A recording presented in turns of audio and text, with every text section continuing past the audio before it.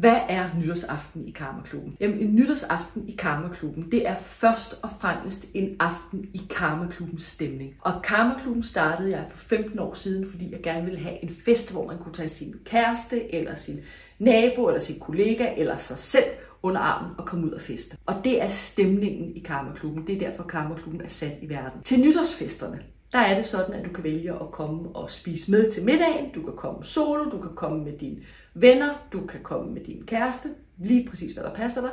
Alternativt, så kom når dansegulvet åbner sammen med alle de andre, og så bare dans og fest hele aften. Så spørger du måske, I snakker meget om at danse i den der karmaklub. Skal man være sådan en superdanser? Bliver man hævet væk fra baren og ud på dansegulvet? Nej, det gør man ikke. I Karmaklubben, der er der plads til dig, uanset om du har det bedst i barn, eller om du aller, allerhelst vil på dansegulvet, eller om du måske flexer lidt mellem de to steder. Det korte og lange, det er, Karmaklubbens fester er ikke singlefester. Karmaklubbens fester er skabt til dig, som gerne vil have din mand, eller kone, eller kæreste, eller veninde, eller kollega, eller bare selv komme afsted til en aften, hvor det er danseglæden og den gode energi, der er i centrum.